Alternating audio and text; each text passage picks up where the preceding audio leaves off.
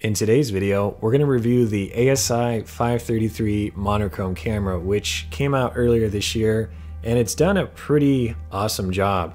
I've been using it for the last six months, and that's given me enough time to really get a firm understanding of just how well the camera performs. We're going to start off and talk about the camera specs so you know what you're in for, and then we'll take a look at some of the photos I've taken over the last six months so you can see what's possible.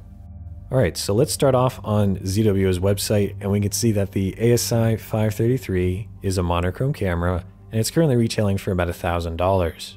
They do give you the option to purchase this with a filter wheel and a set of one and a quarter inch filters. However, to be honest, I think you're better off investing in some two inch filters instead.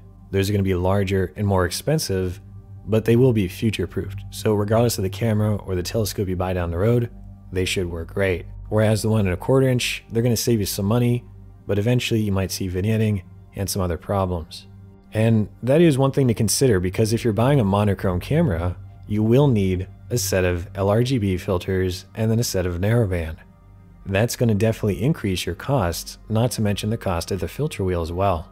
And while ZWO does say that this is an entry-level camera for deep space astrophotography, I think if you're really new to the hobby, the filters might be a little bit confusing at first. But thankfully there's plenty of great YouTube videos that will help you through that process. And I do think a monochrome sensor is a great place to start if you're willing to put in the time and the effort to understanding how those filters work both in the field and during post-processing. And if we continue to scroll down here, we can see that the Sony sensor here is back illuminated, which is really good for Astro. And most importantly, this is a one inch sensor. And because this is a one inch square sensor, it's effectively going to multiply any focal length by a factor of three. Therefore, if I use my small RedCat telescope, which only has a focal length of 250 millimeters, I'm effectively shooting at a focal length of 750 millimeters with this camera sensor. Now I know there's going to be comments saying that's not how it works, but fundamentally if you're a beginner that's the way you want to think about it. And really what's just changing is that your field of view is much smaller. And I go into this in a lot further detail in some other videos if you want to learn more, but again the main benefit here is that if you have a small 1 inch sensor, now you're getting more zoom with whatever telescope you put on there. The resolution is 3000 roughly by 3000 pixels, I will say that that could be a bit higher, but all things considered, I haven't really noticed any quality loss when I zoom or crop into my images. For those that are into the real technical specs, you can see the rest here, including the pixel size, the quantum efficiency, the full well capacity, and more. Before we continue on though, I just wanted to reiterate that the 1 inch sensor is really the most important thing to consider with this camera. And to be honest, that's really the only problem I had with this camera, is that every photo I take is a square, and as a YouTuber, that makes it very difficult to incorporate into my videos because a square does not translate very well to the 16 by 9 ratio. And that would be something to consider if you are going to be making a lot of videos and including your photos, the 1 inch square sensor might be a bit of a problem. But for everybody else, I think it'll work just fine. Another important factor with this camera is that it has zero amp glow, unlike a lot of their other sensors out there. Therefore, I don't have to worry about dark frames anymore because as you can see here on the right, whenever I take a photo, there's no annoying flashlight pattern or amp glow in my images, so I don't have to take darks and include them in my stack. Now I'm sure people would still recommend taking those just so you have them and you can calibrate, but I'm lazy and my photos look fine without them, so I'm not going to bother. But I think this is a good selling point if you are a beginner, because now this is just one less thing you have to worry about when you're taking your photos. Because again, let's say you have the 294 or the 1600, you're going to have amp glow in your photos that you'll need to calibrate out, otherwise they'll ruin your final image. But with a 533, you're not going to have any amp glow to worry about. If you're watching this video and you're still using a DSLR, but you're thinking about upgrading, then one thing you should be aware of is the cooling system that's built in. Pretty much all the dedicated Astro cameras have a cooling system, and that's critical because that's going to keep the noise and everything else lower in your photos, giving you cleaner final images, especially during those warm summer months. And I never really appreciated just how important this cooling is until I was shooting in the desert during the summer with my DSLR, because that sensor would get so hot, I could clearly see more noise in my photos than I would during the winter. And again, every dedicated Astro camera has this feature for the most part, so it's not anything special to the 533, just something to be aware of though that this will really increase the quality of your images. And that's really all there is to talk about in terms of the specs. It's got a USB 3.0 port, which will connect to your laptop, or I'd recommend the ASI Air. And then through the ASI Air, you can control everything, including the gain or the ISO of the camera, however you want to think about that, the shutter speed, the amount of photos, etc. And I've got plenty of videos here on YouTube and over on HowTube that will show you how to use this camera on the ASI Air. The final thing to consider is the connections to your telescope. This can actually be very difficult if you're a beginner, so you'll want to make sure you familiarize yourself with these various diagrams before you go any further, and also consider if you're going to be using a filter wheel, which I'd recommend for this monochrome sensor. All right, now that we've made it through all that, let's take a look at some of the photos I've captured over the last six months with the 533, and then we'll finish up with a little tutorial. Some of the photos that you're looking at were taken here in Port Angeles, Washington, where I'm currently living, and that has a fair amount of light pollution. But with the help of the narrowband filters, it cuts right through all that, and you can get some really nice photos. But recently I've been going down to Kanab, Utah every month to teach some astrophotography workshops, and because we're out there under a really dark sky, now I can use the RGB filters to take beautiful photos of the various nebula and galaxies.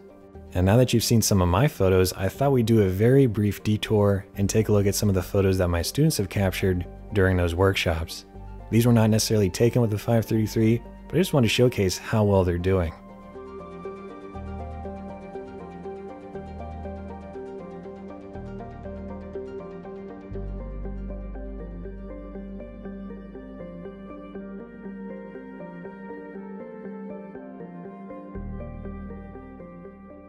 All right, now that we saw some of those great photos from our workshop students, I thought we'd finish up the review and then get into the tutorial portion of the video. To recap, I think the ASI 533 is a great camera whether you're a beginner or an advanced shooter. The 1 inch square sensor has pretty much a 3 times magnification for any focal length. So for those of you that want to have a lightweight portable setup like I do, this is the perfect camera to pair with that, and I think you'll be really impressed by the final images. Not to mention the fact that you don't have to necessarily worry about dark frames anymore because there's zero amp glow, especially when you look at some of the bad amp glow coming from the 294 or the 1600 or a lot of the other cameras, honestly. Another feature of the 533 is that you can control it entirely from your smartphone or tablet using the ASI Air, and that's something I'd recommend everybody do to make your life easier. Of course, you don't need to use the ASI Air to control this camera. There's a bunch of free programs for your computer like Nina, which can do everything for you. And one of my students in the last workshop, Ben, he was showing me all kinds of crazy stuff you can do in Nina. So that might be something you might want to look into. My final review on the ASI 533 is that this is going to be perfect if you're looking for an inexpensive monochrome camera that can be paired with a small telescope like the Red Cat or the Radian Raptor or something else because with the three times magnification, you can get really a lot of zoom with not the biggest telescope out there. And for that reason, I think this is the perfect option for beginners or even more advanced shooters. And now I want to show you my favorite photo that I've taken with the 533, and that's this photo of the Orion Nebula. This was captured back in October in Kanab, Utah, with the 533, my Red Cat telescope, and the ZWO AM5 mount, which has been performing really well during the last few months. All right, before we get to the tutorial portion, there's one other thing I need to mention and that is the fact that almost all the photos you've seen today have been both captured and edited by my girlfriend. I had nothing to do with it. She got really into Astro over the last six months. In fact, when this camera arrived, she wanted to try that out along with the AM5, so I let her run with everything. And with very minimal help from myself, she's been going out there doing the polar alignments, getting the guiding, figuring out the meridian flip, and much more. And that just goes to show you, you don't need to have years and years of experience to take the photos that you're seeing today you can still get amazing results with a good camera like this, the AM5, and a decent telescope. Okay, there's one last thing I wanted to do before the tutorial, and that is read just a little quote here from this book, Star Lore of All Ages. This actually came out over 100 years ago, but there's a lot of really interesting information regarding the constellations. So if you're into the night sky at all, this might be something to look into. You can find it as a PDF for free online, but I went out and got a first edition copy just to have it. And we're going to be reading a little story here from the uh, Orion Nebula chapter here. Here on page 286, we can see a photo of the Orion Nebula that was taken over 100 years ago, which is crazy to think about. And that's why I wanted to include this segment in the video because I read this today and it really drove home an important point. If we were to go back 100 years ago and show these astronomers the photos that we've all taken, they would be blown away by what was possible. And I think it's pretty incredible now that the average person with some fairly modest gear can take these beautiful, breathtaking photos of all these various galaxies and nebula. And if we go to page 287, we can see here that nowhere else in the heavens is the architecture of a nebula so clearly displayed. It is an unfinished temple whose gigantic dimensions, while exalting the imagination, proclaim the omnipotence of its builder. But though unfinished, it is not abandoned. The work of creation is proceeding within its precincts. There are stars apparently completed, shining like gems just shot from the hands of the polisher, and around them are masses, eddies, currents, and swirls of nebulous matter yet to be condensed, compacted, and constructed into suns. It is an education in the nebular theory of the universe merely to look at this spot with a good telescope. If we do not gaze at it long and wistfully and return to it many times with unflagging interest, we may be certain that there is not the making of an astronomer in us. And I think that quote really hits home because I know for myself, I've been trying to photograph the Orion Nebula for years now, and every time I think I got it looking really nice, I always want to go back and do even better. And my most recent photo is definitely my best yet. And that's going to do it for the review portion of today's video. Next, we're going to go through and do a quick processing tutorial, and we'll take a look at some actual images from the 533.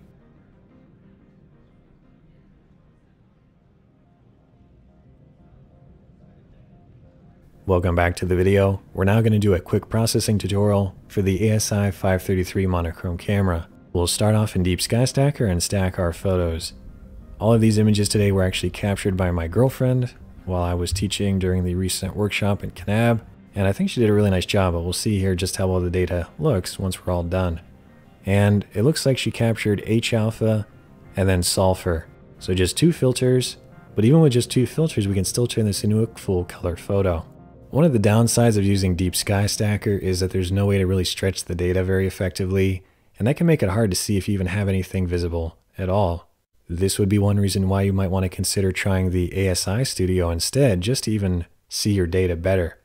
As you can see right here, it automatically stretches the data, and you can see what you're working with. Anyway, what we're going to do now in Deep Sky Stacker is rate all of the photos. And you're probably better off doing this filter by filter to be safe. So we can start off with just the H-alpha images and then check all those. And then we go over to the left where it says register checked pictures. And this is another word for rating the photos. It's going to give it a score from low to high. That way you can see which photos are blurry and which ones are sharp. For this, we're always going to go to the advanced tab, adjust the star detection threshold slider until it finds a reasonable amount of stars. 138 sounds fine. And then we'll see how many uh, scores it can give us for our images. Once we've done that for H alpha, we'll repeat the process for sulfur. And the reason I'm breaking this up by filter is because if you're doing a whole different set of images with different brightness values, it can really throw off the score and give you wrong values. Again, it's better to do this filter by filter just to be safe. There we go. We have all of our H alpha images scored. Then I can change the file scheme here until we're looking at sulfur up top.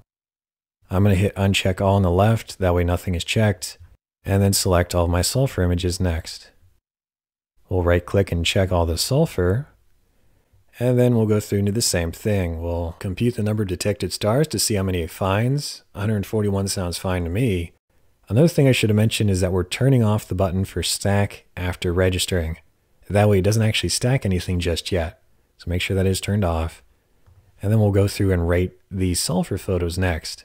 As I mentioned earlier, we only have two filters today, sulfur and hydrogen alpha. But that's fine, you don't necessarily need three to get a color photo, especially when you're doing narrowband. There we go, we have now scored all of the sulfur photos as well. Then I can click on the score tab and it's going to go through and rate these from the lowest to the highest score. I just want to make sure that when I look at the low scores, they're actually still sharp. If they're blurry, then I can always right click and erase them from the disk. That way they don't have to get included with our stack later on. But look at this here. This image has a score of 540, but there's clearly streaking stars. I don't know why I got such a high score here, but I'm going to remove it from my computer. This is why you really want to make sure when you come through here and just double check that the values are actually correct. Sometimes they are, sometimes they're actually pretty far off. Now that I've gone through and verified all my images are sharp, I need to choose a reference frame. This will be the photo where everything gets lined back up to for the stacking. And as we discussed earlier, there's no good way to really stretch the data here in Deep Sky Stacker. So what I'd recommend you do is open up your photos in ASI Studio instead, where it will automatically stretch the data. And then just go through these photos until you find one that has a composition you really like. And we'll use that as our reference frame. Well, before we go any further, I should mention that using this software is a great way to see what photos are actually sharp or not. Look at this. This image has some clouds blowing through. And Deep Sky Stacker, we'd have no way to know that that was a problem. But because this is stretching the data for us, we can tell that some of these photos don't look all that great. And if I look at the file name here, this is sulfur 23, 22, 21 doesn't look so bad. Clearly there's some clouds blowing through at night. And that means I need to go through and probably remove these as well. I get rid of 22, 23, and 24. That's why I recommend everybody, if you don't have it already, download ASI Studio. It's a free program for your computer. It's just another way to make sure that the data you're working with is actually good. Now that I found out those photos are bad here in Deep Sky Stacker, I'll remove them. And I'll continue on trying to find one that actually looks pretty good in terms of the composition. I think we'll go with H alpha number 13 today. I kind of like that right there. So that means I go back to Deep Sky Stacker, look for H alpha number 13, then I'll right click on it and choose use as reference frame. Now there should be a little asterisk next to the score. That indicates this is our reference photo where everything gets aligned to. For those that aren't using the 533, you might want to take some flat frames, dark frames, and bias frames and include them in your stack as well. But as I've shown you today, you really don't need to worry about dark frames with this particular camera or bias or flats in my case. So I don't really have any calibration frames today and we'll see just how well the final image turns out. Okay, so right now I have all of my sulfur photos still selected, but none of the H alpha. That's important. And with just my sulfur photos selected, none of the H alpha, I'll click on Stack Check Pictures on the left, go to the recommended settings. Since I have over 20 light frames, I can do Sigma clipping. That looks fine. I have three hours worth of data. And this is something that I should mention. You know, when you're doing narrowband work, you need a lot of time to invest in your photos. If you only have like an hour or two's worth of data for sulfur or oxygen, your photos are still going to be very grainy. That's because when you're working with narrowband, you're just getting a very narrow slice of light, and you're not really seeing most of the other spectrum. Therefore, if you really want to take your astrophotography photos to the next level when it comes to narrowband, Try spending an entire week just capturing data with one filter, then move on to the next filter the next week, assuming you actually get plenty of clear nights.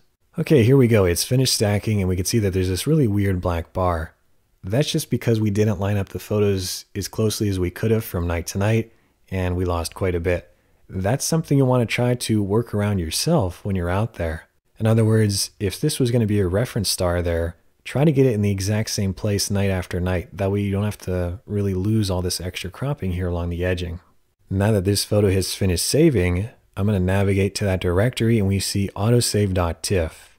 I'm going to rename this to sulfur 32 bits because it's a 32 bit file.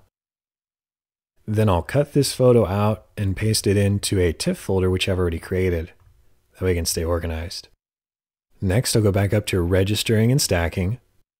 I'll click uncheck all on the left, and I'll repeat this process for the H alpha images again. So I've deselected all the sulfur. Now I'm going to select just the H alpha.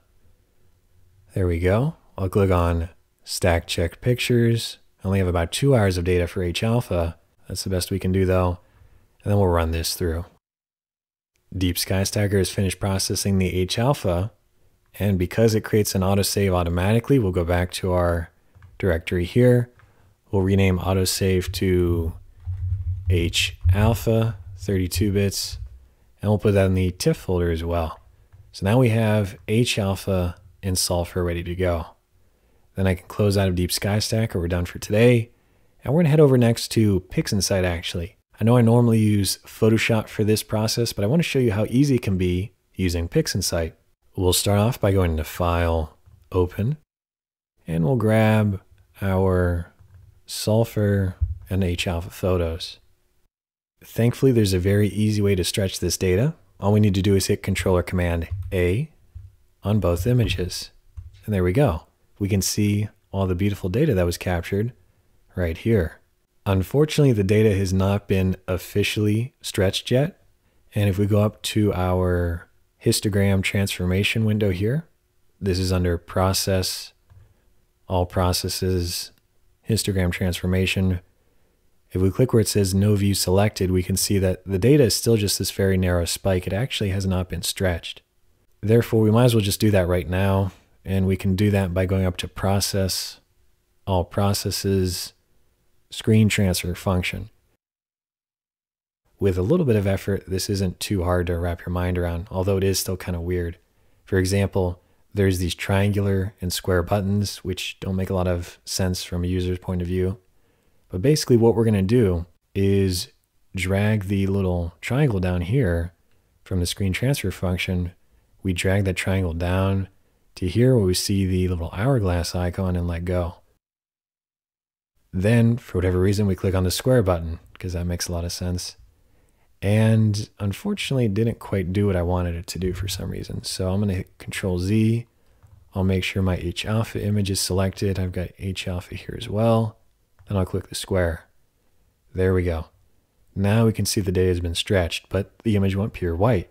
Therefore, what we need to do is click on the nuclear button here in our screen transfer function window. And now the data has finally been stretched. I realize that is not intuitive at all, but this is just something you pick up after using the program a few times. Now we need to repeat that step for sulfur as well. And I think we can actually just hit the square this time and make sure we actually have the image highlighted here. There we go. Looks like that was now stretched as well. So with our two stretched photos, we're ready to create a color image. And this is very easy to do inside of PixInsight. For that, we'll go up to Process, All Processes, and we're looking for the LRGB combination. Even if you're doing narrowband, we're still going to use this particular tool. When you get the LRGB combination window up, you can choose from L, R, G, or B in terms of your colors. So for this, let's put H alpha on the red color channel just by clicking this box and choosing it. I'm going to put sulfur on green. I want to put sulfur on blue as well. For the luminance, because the H alpha is so bright, I'm going to choose H alpha for that. So what we've done is map H alpha to both the luminance and the red color channels, and then sulfur to both green and blue. If we go to the channel weights, we can turn up or down the values associated with each one of those color channels. For example, I probably don't need a weight of 1 for the luminance. I'm able to just do like 0.6. Really doesn't matter. We'll just try something and see how it goes. When you're ready, we'll click on the circular button to create our new image. And there it is. There is our new color photo. Looks pretty good. If I think it looks a little bit weird though, maybe I can try lowering the luminance even further to maybe just 0.25. And if I click the circular button again, that will create a new image we compare those both side by side. I think uh, they both look pretty good, but it's up to you. You can always do whatever you want. I think we'll go with the 0.25 one now right here. And you can see there that that was a very easy way to stretch the data and create a color photo. Next, we're going to use a few tools from Russell Croman. And what we're going to do is just kind of look at the image right now. And we see that there's still a bit of grain, although not as much as I would have thought. So if my image is still a bit grainy, I'll go to Process, All Processes, and we have a plugin here from Russell Croman called NoiseXTerminator. This is a paid plugin, but I think it's well worth the money. And the way this works is you're just going to drag the triangle over to your image. It's now going to go through and do a really nice job of removing all the grain from your photo. I don't know how well you can see this in the video, but here's our before and after. It's pretty subtle actually in this particular photo, but normally there's a really pronounced difference and the NoiseXTerminator does a fantastic job of removing the grain without distorting the photo and the stars, which is critical. So I think if you're looking for a great way to reduce the noise in your photos, then NoiseXTerminator is some of the best money you can spend for that feature. Another plugin from Russell Croman available here is called Star Exterminator. And I've been going back and forth between this one and the free StarNet 2, which I normally recommended, but I actually think StarXTerminator, at least here inside of PixInsight, does a really good job for both narrowband and RGB images. So what I'm going to do is check the box for generate star images. And then after I've done generate star image, I'm just going to drag the triangle over to the photo and it will begin to create a starless photo. And this will take quite a while on Windows, usually up to 10 minutes, but it seems to be much faster on Mac. So I'll pick back up with you when this is complete. That took a really long time, but at least it's finally done. And we can now see that photo right here without any stars whatsoever. It looks pretty darn awesome. Now what I'll do is go up to File, Save As, and I'll call this Sadar Cleaned because we ran NoiseXTerminator on it, and we also ran Star Exterminator on it as well. And I'm going to save this as a 16-bit TIFF file to make it easier to process, and I'll hit OK. Now I don't necessarily want to have just the starless photo. So if I undo this, we bring the stars back and I can call this, if we save it, just Sadar cleaned stars. That way I have both the stars and a starless photo. And I will say that during my recent workshop, one of my students, Ben, he got PixInsight and within like two days he was already a master of it. And one thing he found is that there's a great way to do a star reduction and incorporate your stars here inside of PixInsight using some of the more advanced processes. However, I don't remember off the top of my head what those were, so you might want to check the comments down below. I'm sure somebody will know some good ways to do this and they'll probably include it down there. Anyway, I'm going to head over to Photoshop for the rest of this workflow and then we'll call it a day. Now that I've got both photos opened up inside of Photoshop, I'll take probably the starless photo, hit Controller Command A, Controller Command C to copy that, paste it in as a new layer on top of my stars image. So I'll call this one starless. And then this one I will rename to stars. There we go. And that looks pretty impressive, I'd say. I mean, if you think back to our original photo, it was just kind of black because it was so dark. And now we have all this amazing detail with no signs of amp glow and really no problems whatsoever. It looks great. My main concern right now is it's just all a shade of red. It looks a little bit boring. So why don't we do something special here for the colors? And this is a technique I covered in a previous video on color masks. If you have Raya Pro and Instamask, this is very easy to do. You're going to click on either red, green, or blue. I'm going to click on red, and then click on the Brights 1 button right here. That creates a layer mask that is based on the red color channel, which we see right here. Anyway, with this red layer mask created, I'll click on select. Then I go up top here and I can add anything I want to, but I'll do a levels today. Again, I have a full separate tutorial for this where I go through it a lot slower, which you can find here on YouTube. Anyway, now that I have a levels adjustment with my red color channel right here as a layer mask, watch what happens. If I change this to the red color channel up top here, I can move my sliders around and change the color balance of the photo. I can make it more or less red in the shadows, the midtones, and the highlights. And then once that looks pretty good, I can turn it on and off to see the difference. Then I can go down to the green color channel, and then I can move these sliders around as well. Feel free to adjust this any way that you think looks good. Then we'll go down to the blue color channel and do the same thing. Just moving our sliders left and right until we like the color balance of the image. And I will say that these changes are best done at night you can really see the fine differences. There we go, we've done one color adjustment. I can always go back to Instamask, click on maybe the blue color channel next, and then click on Brights 1. I can even adjust my sliders here for shadows, midtones, and highlights to add some contrast to the mask, which will just change how it targets the image. The brighter the parts of the photo, the more it will target those areas. The darker, the less it'll target those areas. Then I'll click on Select, go back up to my Adjustments tab and add another Levels Adjustment layer. And just like before, we can move our sliders around to change the color balance in the photo. And if you're not sure what color channel this is actually targeting, you can always go back to Instamask. And I can see here since the blue dial was selected, this is blue. Therefore, we'll start off on blue instead. And with just these two adjustments, we've taken the image quite a long way. I could always go back to my adjustments layer, add a vibrance, and add a little bit more saturation. Then if I really want to tweak the colors a bit better, I'll hit Control Shift Alt E or Command Shift Option E if you're on a Mac. And then with this new layer, we'll go up to Filter, Camera Raw Filter.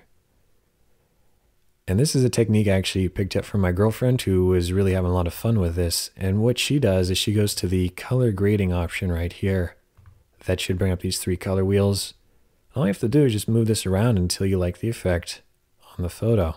The further you move this towards the edge, the more of a color cast there will be in your photos. So it takes a little bit of practice, but sometimes this can really transform the image. And if you go through and it looks kind of weird, you can always right click on the wheel and then reset it.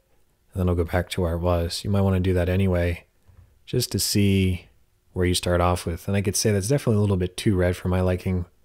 So maybe we'll go back to the shadows, make those a bit more blue. Go to the midtones, maybe make those a little bit more cyan. That's starting to look pretty cool there. And then I'll hit OK. There's our before and after. Now we're starting to get some really nice color separation out of the photo, when originally it was almost just completely red and kind of boring.